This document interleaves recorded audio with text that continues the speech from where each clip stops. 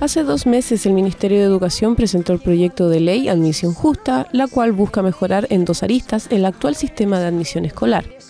Por un lado, lo que se está planteando es poder eh, eh, eh, dar una discusión parlamentaria con respecto a lo que es la selección por mérito académico, que es donde se ha concentrado mayormente el tema de admisión justa, ¿ah? que involucra muchos más temas.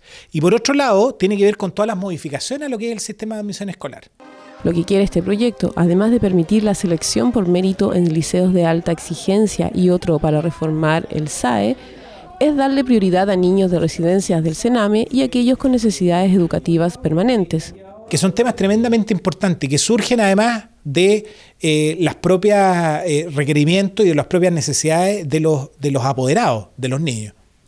Según cifras entregadas por Educación, en la región de Tarapacá solo un 45,5% de los estudiantes quedó en un colegio de su preferencia y que muchos alumnos, a pesar del mérito por sus buenas notas, no quedaron en establecimientos de excelencia académica.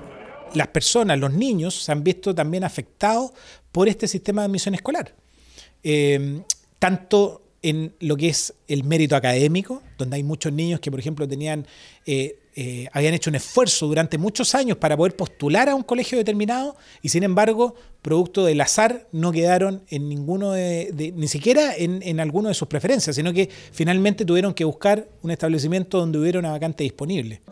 Las autoridades esperan que los parlamentarios no desechen el proyecto y discutan ambas modificaciones con el fin de mejorar el proceso de admisión al azar al que hoy deben someterse.